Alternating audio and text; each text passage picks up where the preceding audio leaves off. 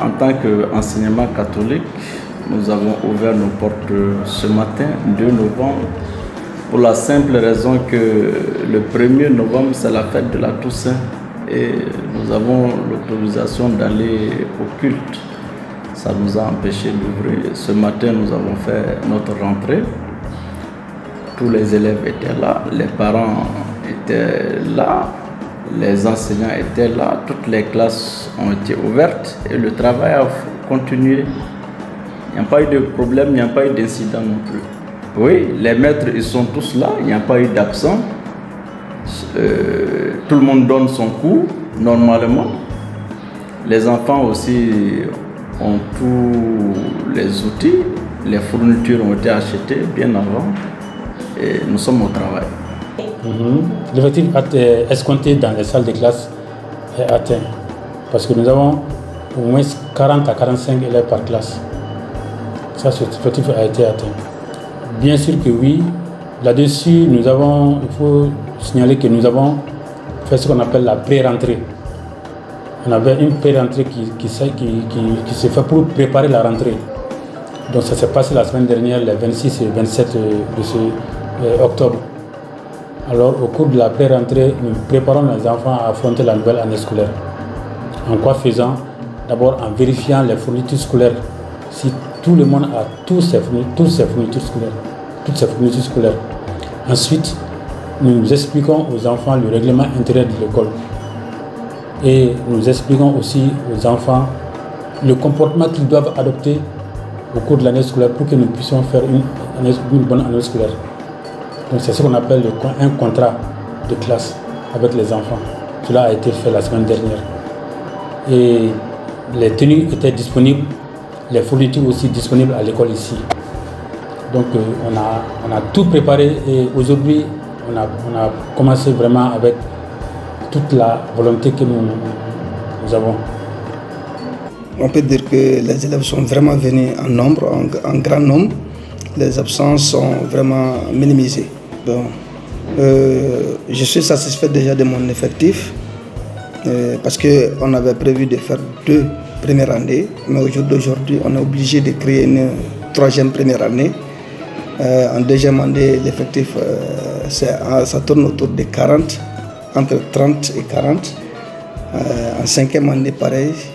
Mais c'est en sixième année qu'on a un petit effectif. Mais quand même, on peut, on, peut, on peut dire que nous sommes satisfaits déjà de ce que nous avons. Nous ne faisons pas de publicité, mais nous avons comme credo la discipline surtout.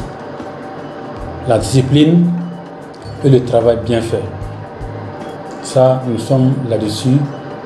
Et nous avons, chez nous, tous les enfants ont ce qu'on appelle un carnet de liaison qui nous permet de communiquer régulièrement avec les, avec les parents d'élèves par rapport à la situation des enfants. Donc, euh, si un enfant a un mauvais comportement, les parents sont immédiatement informés par le système de SMS, puisque tous les parents ont leur adresse et leur numéro de téléphone dans une base que nous avons ici.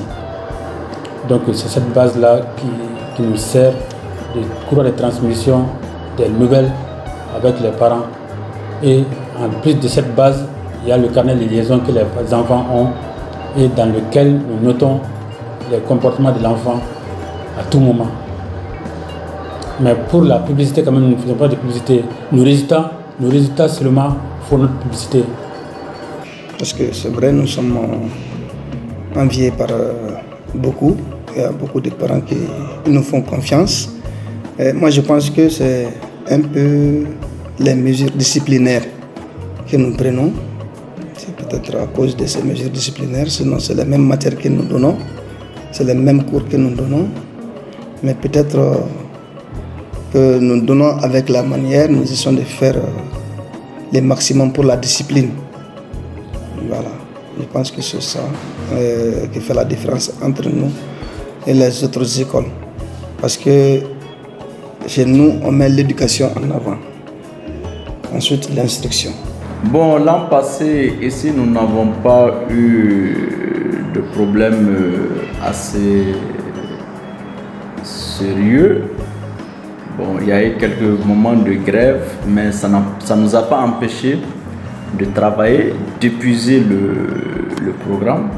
Et cette année, nous pensons que, et nous souhaitons ne pas avoir de problème et que nous allons travailler normalement parce que toutes les conditions sont réunies pour que l'année se déroule normalement. Je oui, je m'appelle Abdul Kader Koulibaly. Je, je fais l'école Institut du Sahel. Je fais la 9e année de. Du Togola. La classe de l'école. Euh, je fais la 9e année dans l'école Institut du Sacré-Cœur. Rokia Koulibaly. Classe. Je fais la 8e D au Institut du Sacré-Cœur. Ok. Est-ce que tu es prêt pour cette nouvelle année scolaire de 2020 Oui. Tu es prêt? Oui. Ok. L'année passée, à cause des grèves et les, les programmes n'ont pas pu terminer. Oui. Est-ce que cette année, tu préfères que les grèves continuent ou bien tu veux étudier réellement? Je veux étudier réellement. Tu veux étudier.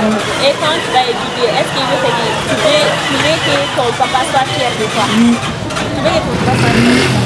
Qu'est-ce que tu vas faire pour que ton papa soit toi Je vais travailler Tu vas travailler très dur pour avoir quoi?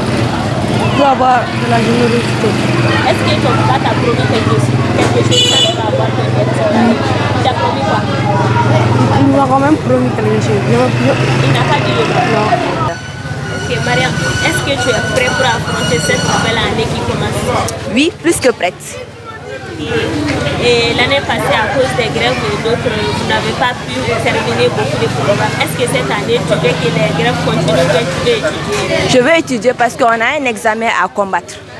Est-ce que tu, tu veux honorer ton papa? Oui, et ma maman. Tu veux les honorer en faisant quoi? En travaillant beaucoup à l'école et en ayant de bonnes notes. Est-ce que ton papa t'a promis quelque chose? Une fois que tu l'aider Une nouvelle moto. Tu, veux avoir cette moto? Oui, Tu veux avoir cette moto en faisant en travaillant. Ok, Mariam, est-ce que tu es prête pour affronter cette nouvelle année qui commence? Oui. Euh, L'année passée, vous n'avez pas pu terminer les programmes à cause des grèves. Est-ce que cette année, tu préfères que les grèves continuent ou tu veux étudier? Non, je veux étudier. Ok, est-ce que tes parents t'ont promis quelque chose quand tu vas passer la classe Oui. Ils t'ont promis quoi Un nouveau téléphone. Euh, Est-ce que tu veux avoir cette nouvelle téléphone? Oui. Tu veux avoir ça en faisant quoi? En travaillant beaucoup à l'école. Merci.